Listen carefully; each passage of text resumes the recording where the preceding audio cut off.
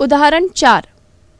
मोहन ने कृषि विकास बैंक में पचास हज़ार रुपये दो वर्ष के लिए सावधि जमा खाते में जमा किए। यदि ब्याज की दर 10 प्रतिशत वार्षिक हो तथा ब्याज प्रति छमाही बाद संयोजित किया जाता हो तो परिपक्वता पर बैंक उसे कितनी धनराशि देगा? उदाहरण चार। मोहन ने कृषि विकास बैंक में पचास हज़ार रुपये दो वर्ष के लिए सावधि जमा खाते में जमा किए। यदि ब्याज की दर 10 प्रतिशत वार्षिक हो तथा ब्याज प्रति छः माही बाद संयोजित की, किया जाता हो तो परिपक्वता पर बैंक उसे कितनी राशि देगा? हल। दिया है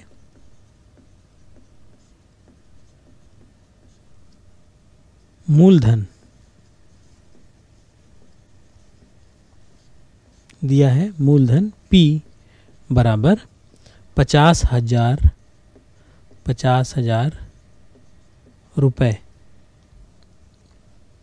ब्याज की दर, प्रश्न अनुसार ब्याज की जो दर है, जिसे हम आर से प्रदर्शित करते हैं, वह दस प्रतिशत वार्षिक है। दस प्रतिशत वार्षिक, जिसे हम दो से भाग करेंगे तो पाँच प्रतिशत हमारे पास अर्धवार्षिक ज्ञात हो जाएँगी। यह अर्ध वार्षिक है। तो इस तरह से हमने ब्याज की दर जो है, दस प्रतिशत वार्षिक को अर्धवार्षिक में बदला दस बटा दो तो पाँच प्रतिशत अर्धवार्षिक। समय हमारे पास है, समय एन। से प्रदर्शित होता है बराबर दो वर्ष। अब क्योंकि हम अर्धवार्षिक निकाल रहे हैं तो दो, एक वर्ष में दो छः माही होते हैं तो दो वर्ष में हमारे चार छ माही।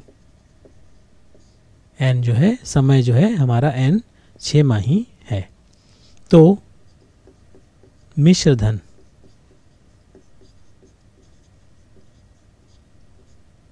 मिश्र धन ए हमें ज्ञात करना है। अब हम जानते हैं कि मिश्र धन एक का सूत्र होता है पी कोष्टक में एक धन आर बटा सौ की घात एन से हम मिश्र धन ज्ञात करेंगे। तो अतः मिश्र धन ए बराबर हमारा मूलधन है पचास हज़ार। एक धन, दर है हमारी पाँच प्रतिशत अर्धवार्षिक बटा सौ कोष्टक बन, और उसकी घात में एन है तो एन हमने छः चार छः माही निकाला है तो एन के स्थान पर हम चार लिखेंगे। उसी तरह से ए बराबर पचास हज़ार, और यहाँ पे हम पाँच और सौ को काटेंगे तो पाँच एकम पाँच दूनी दस यहाँ बीस आ जाएगा तो हमें प्राप्त होगा कोष्टक में एक धन, एक बटा बीस, कोष्टक बंद की घात चार, या ए बराबर पचास हज़ार। और जब हम इसका लघुत्तम निकालेंगे तो ये बीस अंश में जाएगा, बीस धन एक इक्कीस बटा बीस की घात चार। तो हम ए को लिखेंगे, ए बराबर हमारे पास पचास हज़ार।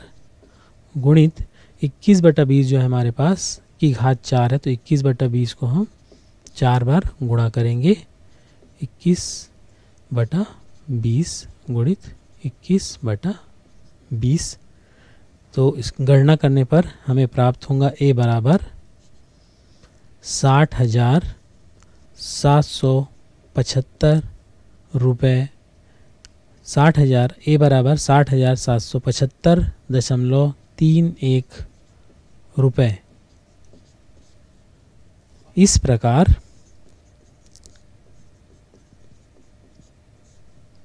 मोहन को दो वर्ष पश्चात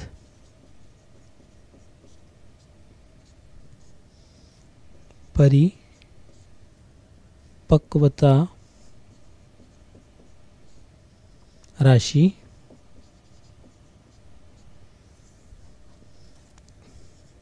साठ हज़ार सात सौ पचहत्तर दशमलव तीन एक रुपये प्राप्त होगी। इस तरह से हमने ज्ञात किया कि हमारी जो कुल राशि, मोहन को दो वर्ष पश्चात परिपक्वता राशि जो है वो साठ हज़ार सात सौ पचहत्तर दशमलव तीन एक रुपये प्राप्त होगी। यह इस उदाहरण का हल होगा।